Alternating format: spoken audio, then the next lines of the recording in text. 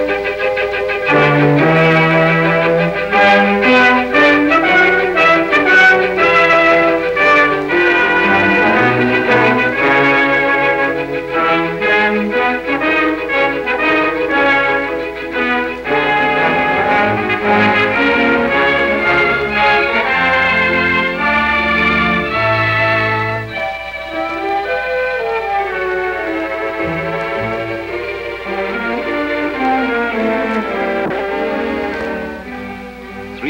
miles from Britain's coast, the Union Jack floats proudly in the sunshine over Canada, whose wheat has won a worldwide reputation. Let us go to Canada and see how she produces such vast quantities of fine wheat.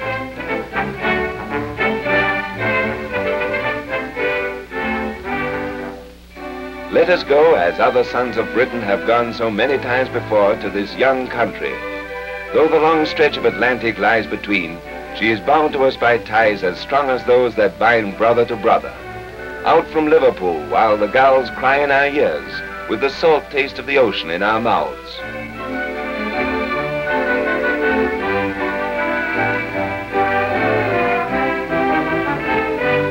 Our island home fades into the sea, across 3,000 miles of gray Atlantic, days and nights of quiet seas, of heaving, tossing water, of ocean madness and tranquility. We leave the mother of half the rolling earth for the land beyond the setting sun.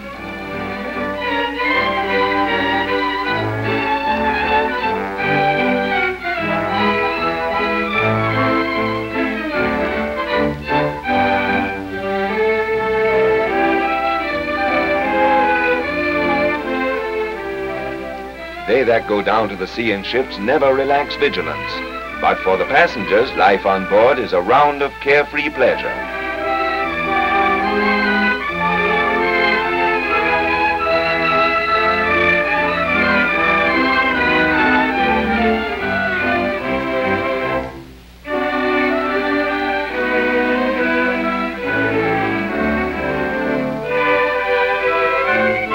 Lazier spirits soak in sunshine and salt air, or watch the grain ships from Canada carrying wheat to British markets. They appear from the setting sun to plow back over our trail.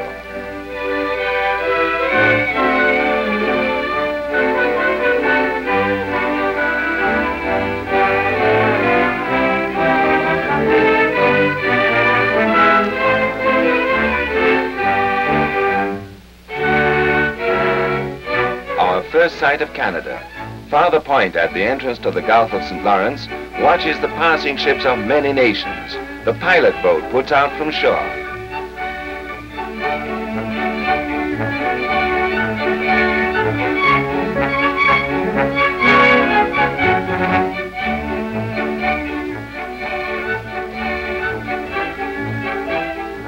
Trained St. Lawrence River pilots come aboard to direct the steering of our ship.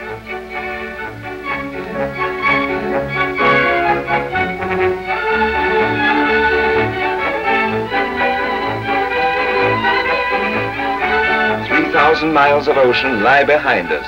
Ahead lie a thousand miles of river as we sail up the broad St. Lawrence. On these shores, life is lived with the slow tranquility of older days. Here, simple fisher folk and tillers of the soil watch the busy commerce of the river with unenvious eyes. See the grain boats on their way to distant ports and busy markets, to the rush and bustle of modern life. In these quaint communities, the people live as their grandfathers did. On quiet Sundays, church bells call the faithful to prayer. Peace and contentment mark their ways.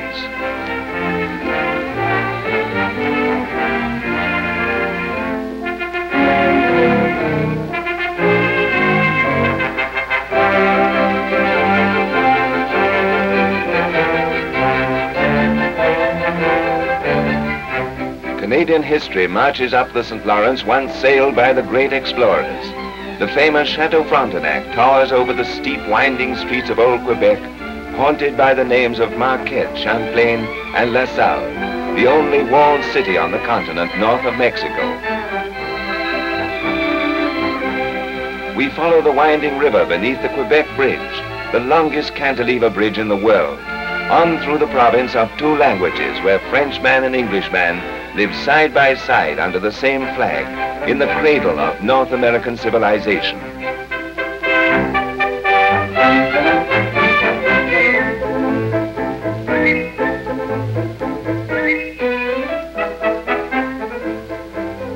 On to Montreal, the largest inland ocean port in the world, a thousand miles from the sea, where flags of many nations flutter from the masts of ships riding at anchor in her harbor. Here the grain boats loaded with wheat from the Canadian prairies end their voyage through the Great Lakes. Their precious cargo flows into the giant elevators and out again into the holds of larger ships who will carry the prairie gold on the last lap of its journey to become British bread.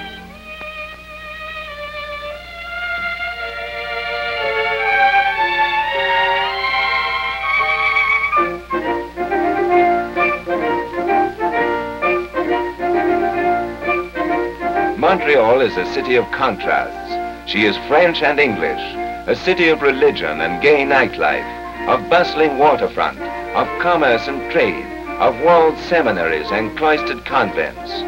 Ancient buildings huddle beneath the shadow of her skyscrapers. Her charm is continental, her spirit aggressive. Built on an island, Montreal completely encircles a mountain. An old city in a young country, she is as modern as a new song. When the snow blankets the countryside and tree boughs crackle with the cold, Canadians desert their warm firesides for the challenge of the white outdoors. They take their winter like a tonic. Bright sunshine and clear, crisp air are better than any medicine known. Canada's winter time is Canada's playtime. There are plenty of thrills and spills when it's fair and cold.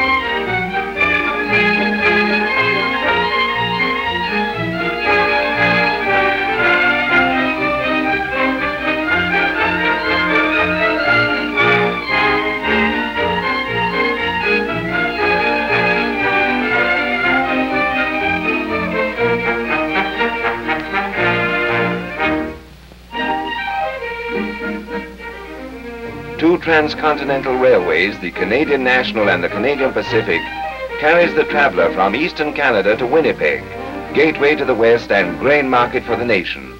Our train journey begins at Montreal. We bid adieu to the province of Quebec and in steel coaches pulled by the most modern of locomotives, start on our long journey across Ontario to Manitoba, 1,400 miles to the granary of Canada. We follow the path of the sun into the west as the early settlers did not so many years ago. Then all their worldly possessions were transported in covered wagons as they faced the setting sun to conquer a new land. Today, because of their courage and fortitude, we travel in comfort undreamed of by them. The modern transcontinental train is a hotel on wheels. Gone are the covered wagon days, the days of peril and hardship. The path of today's traveler is a smooth one.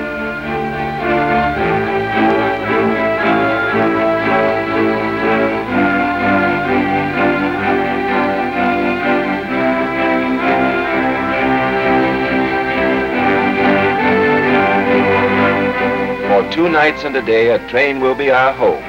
Luxurious dining cars cater to our needs, while the rugged scenery of the North Country flashes past our windows.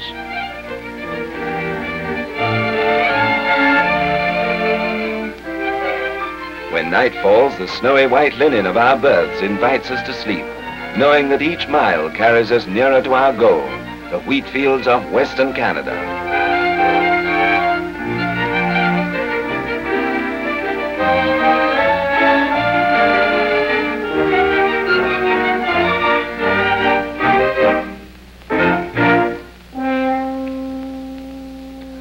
Train winds around the shores of Lake Superior. North of us lies Canada's mineral empire, whose gold mines have placed her third among the gold-producing nations. But the gold we seek is another kind, the living gold of the prairies which flows to Winnipeg, center of the wheat industry. Little more than 60 years ago, this thriving western city was a frontier outpost. Today she is Queen City of the Plains, and wheat sold in Winnipeg is shipped around the world. The grain exchange is the trading center of the wheatlands which stretch over three provinces, Manitoba, Saskatchewan, Alberta. 35,000 square miles of fertile soil, of sunshine and warm Chinook winds. The mighty range of the Rocky Mountains forms the western barrier. Beyond lies Vancouver, gateway to the Orient.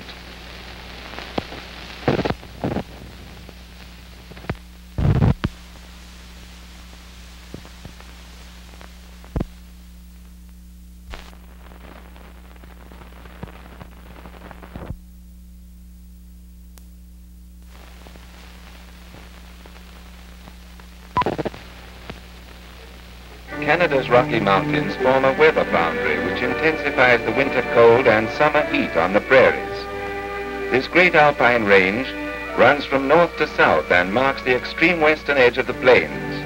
Appropriately called the roof garden of the world, it is 50 Switzerlands rolled into one. Snow-crested peaks rise thousands of feet. Skyline trails lead beside foaming torrents, around deep canyons, past jeweled lakes and through the hush of spruce forests.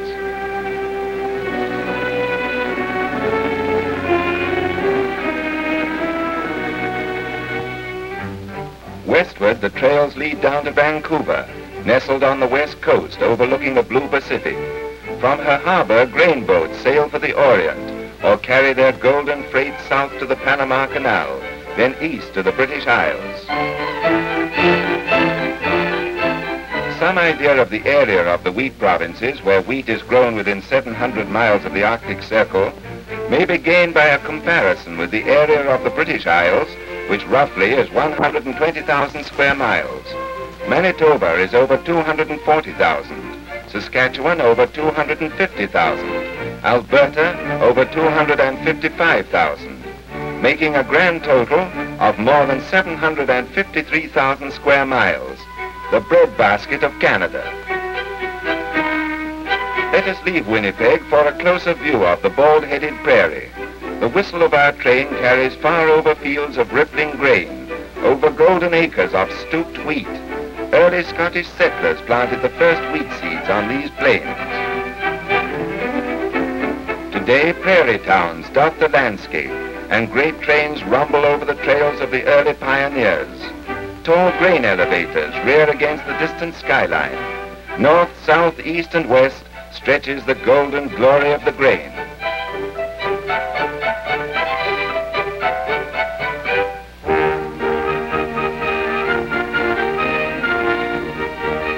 Of the farmers are comfortable and modern. Though far from any city, motor cars have replaced the old horse buggies, and the wireless brings them the daily news of the world. The western farmer of today is in step with the progress of the times. These barns house fine livestock. In many sections of the country, the farms are completely motorized, and giant tractors are used instead of the teams of sturdy horses.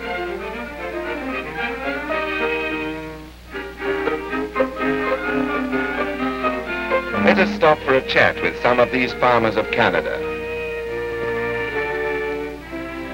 Are you a Canadian, Mr. Edwards?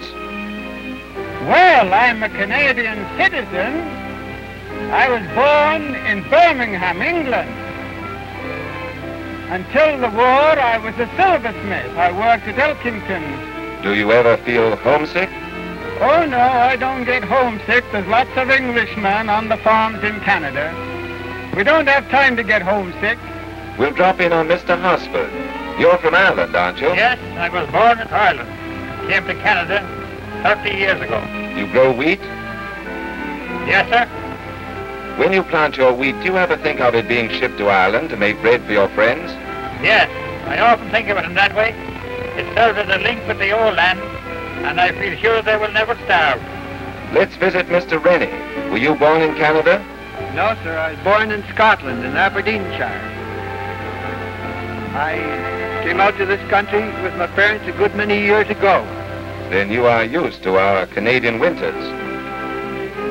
Decidedly. We uh, soon get climatized to the winter in Canada, and we, as, as people living here, enjoy them. And we find it's a great benefit to the, the crops, especially in the growing of wheat, the, where the excessive frost in the ground helps to make a harder grade of wheat, make better bread flour. A cross-section of the ground illustrates Mr. Rennie's point about the Canadian winters and their beneficial effect on wheat. In the fall, after the crops are harvested, the soil is plowed. Late autumn rains sweep across the brown earth, soaking it with moisture. Then comes the intense cold and the ground slowly freezes to a depth of six feet. Snow covers the prairies. King Winter reigns over a white world. For five months, the rolling plains lie in winter's icy grip.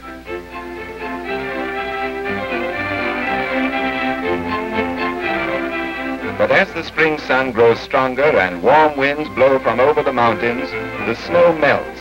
Sunshine and water penetrate the hard ground.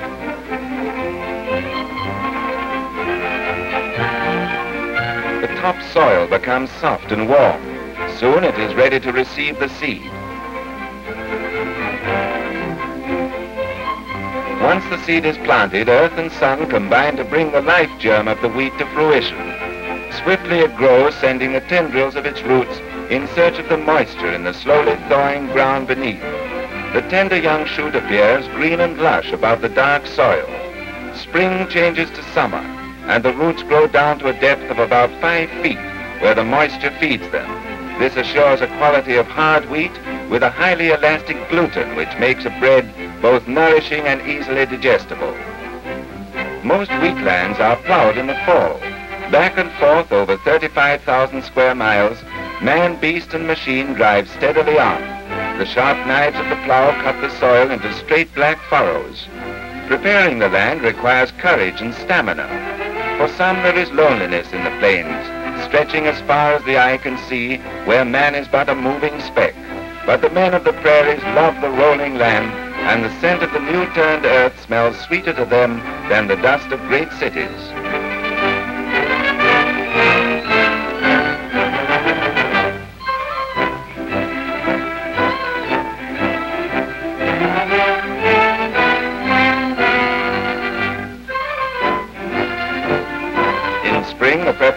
The soil is resumed. Day by day, as the rays of the sun increase in strength, more acres are made ready.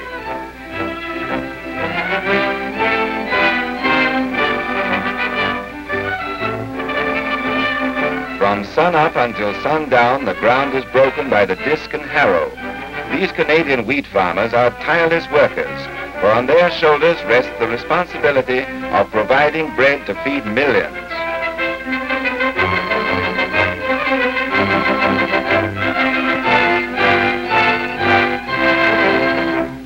Rice, wheat is used more than any grain in the world.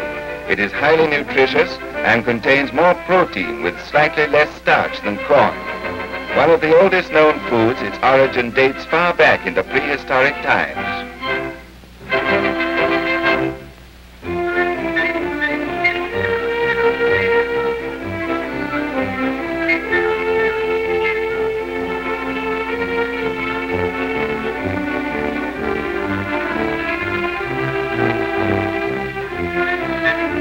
The soil is ready. The seed is loaded into the seeder, and over thousands of acres, the germ of life is dropped into the waiting earth to provide man with food.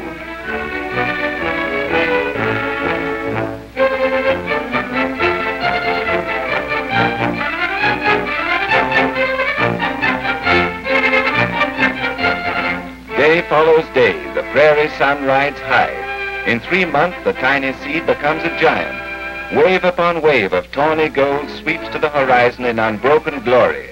Literally steeped in sunshine as the wheat takes on the color of the sun, it absorbs energy-building elements so necessary to life. Each head of wheat contains 50 or more kernels. These kernels are the true prairie gold.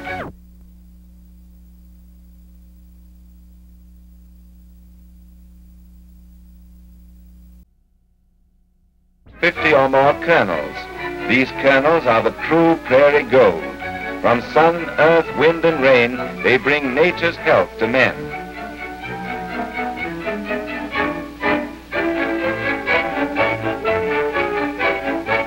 And now it is the time for the golden harvest to be gathered. Once more, man and beast cross and recross the familiar acres. Swath after swath of tall grain is mown down by the massive binder. Throughout the length and breadth of the land, the wheat is cut, stooked, and loaded.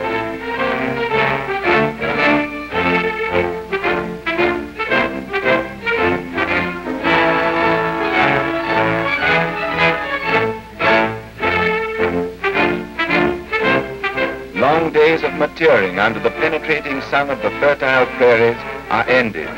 Harvest time is a busy season on the sun-drenched Canadian plains.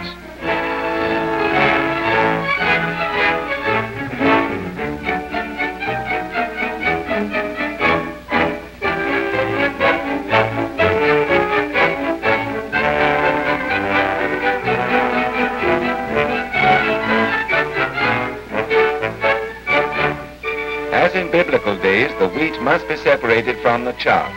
But the modern threshing of the Western farmer is a far cry from the laborious methods of the early Hebrew or ancient Egyptian who threshed his wheat on the banks of the Nile. Power is utilized on the wheatlands of today.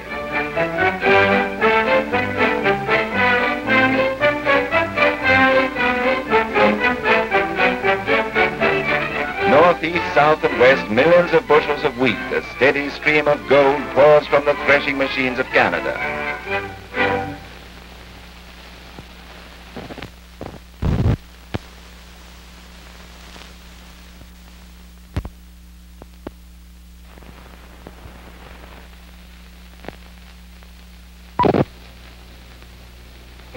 The coming of power to the farms has revolutionized harvesting methods. Many modern inventions have reduced the heavy labor of harvesting. There are machines which eliminate stooking by picking up the cut grain where it has fallen and threshing it as they go along.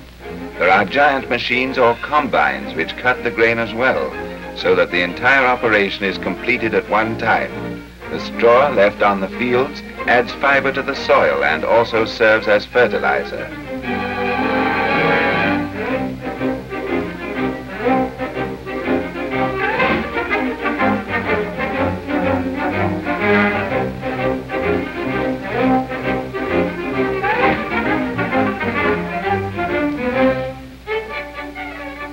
Piles up, a mountain of prairie gold.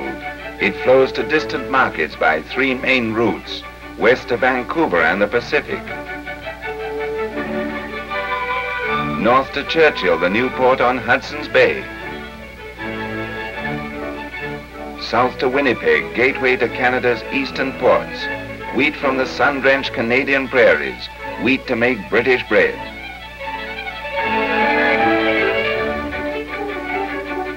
Towns are dominated by the tall elevators to which the farmer brings his harvest.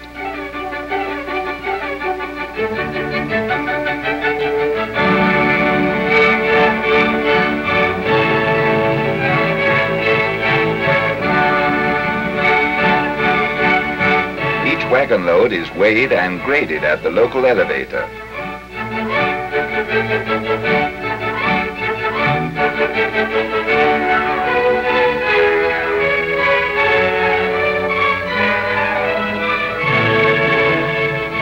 From the elevators through jointed metal chutes, the grain pours into waiting cars ready to start its long journey from the soil. Day and night, trains rumble across the wheatlands.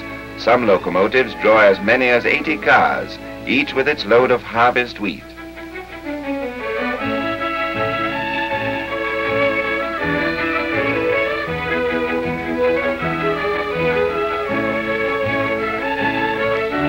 Government grain inspectors take samples of the wheat by jabbing long poles through each carload.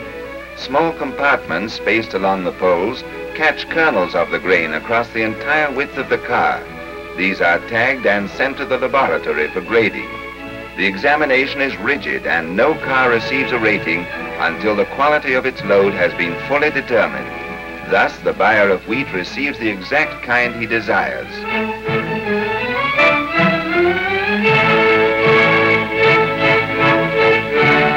Cars are then sorted according to their destination by coasting down a slight grade known as the hump. Then they are unloaded into the giant grain terminals of the twin ports of Lake Superior, Fort William and Port Arthur. Here it is held until the arrival of the lake boats. Millions of bushels of golden grain gleam for the last time in the brilliant western sunshine.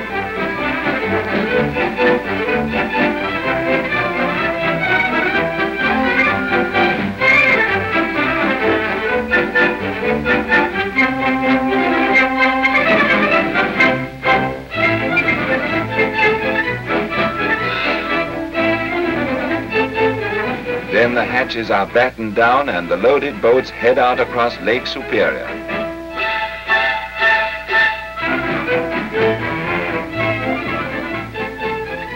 From the western ports of Lake Superior, the grain trail leads through the Soo Canal, past Sault Ste. Marie, across Lake Huron to Windsor, across Lake Erie and through the Welland Canal into Lake Ontario, the last of the Great Lakes. Big boats and little boats ply the grain route. Largest of them all, the steamship Lemoyne, has a capacity of 550,000 bushels, representing the harvest from 51 square miles. As she steams away from land, the sun sinks behind the sleeping giant of Indian legend. We sail back into the east. We bid adieu to the granary of Canada.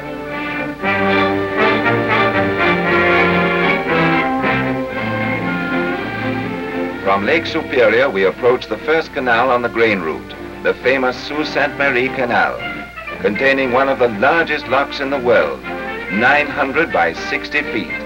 Ten minutes later, the heavy grain boat is lowered 19 feet to the level of St. Mary's River and Lake Huron. Out past Windsor Harbor, we sail the busiest waterway in the world, great inland lake and river route to the sea, busier than the Suez Canal, busier than the Panama Canal, from early spring to late fall, a steady stream of vessels pass both ways over the Great Lakes and St. Lawrence water lane.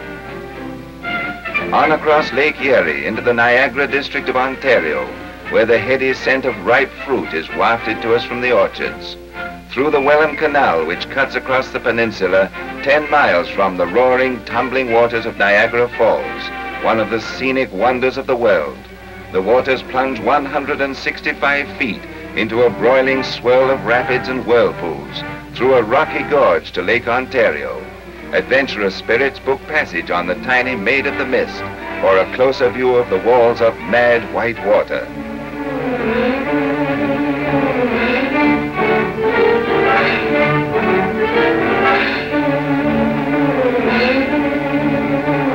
At one time, the falls formed a formidable obstacle to shipping, and freight had to be transported overland to the upper levels. The mighty Father of Waters defied conquest by man until the construction of the first Welland Canal. Rebuilt four times, this amazing engineering feat is 25 miles long and is crossed by 20 railway and highway bridges. The boats go through eight locks with giant steel gates and are lowered 325 feet to Lake Ontario. These tremendous locks can be completely filled and emptied in less than eight minutes. They are large enough to accommodate any ship afloat except the largest passenger liners and warships. Three of the locks have twin flights to provide simultaneous passage for up and downbound traffic. Eastward, we steam over the waters of Lake Ontario, where the towers of Toronto cut across the sky. Capital of Ontario, her parliament buildings look over a beehive of industry, of agricultural, manufacturing, and mining activities. On her outskirts is held the Canadian National Exhibition, the largest annual exposition in the world. Here also is held the Royal Winter Fair. East and West meet on common ground in the Coliseum, whose 10 square acres are dedicated to the showing of livestock, of aristocrats of the horse world, of cattle from the finest herds in the Dominion.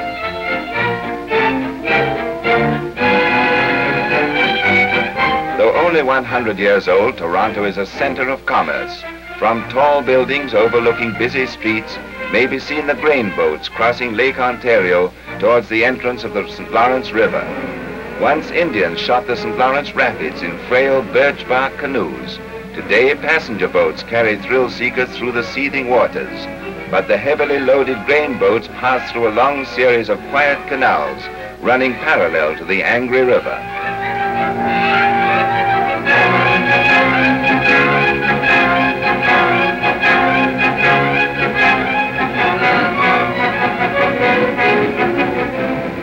On through the last canal, through the last locks on the grain route, on into the harbor of Montreal. The lake boats unload their precious cargo in Montreal's giant elevators. It flows again into the holds of ships that will carry it 3,000 miles across the sea. Montreal is hidden by the river's curve. On past the ramparts of old Quebec.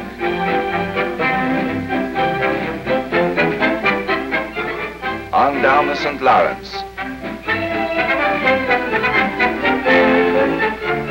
Across the broad Atlantic to the home ports of Britain. Once more the ship's hatches are opened. Once more the grain gleams in the light, golden with imprisoned sunshine. There is a smell of the prairies in the English air, of hot sun and Chinook winds, as the wheat pours from the holds of ships and is transferred into the goods trains of Britain. To all parts of England, to Scotland, to Wales and Ireland, the trains carry the grain through the countryside. The golden stream pours into the mills, hard kernels of health to be ground into flour for British bread.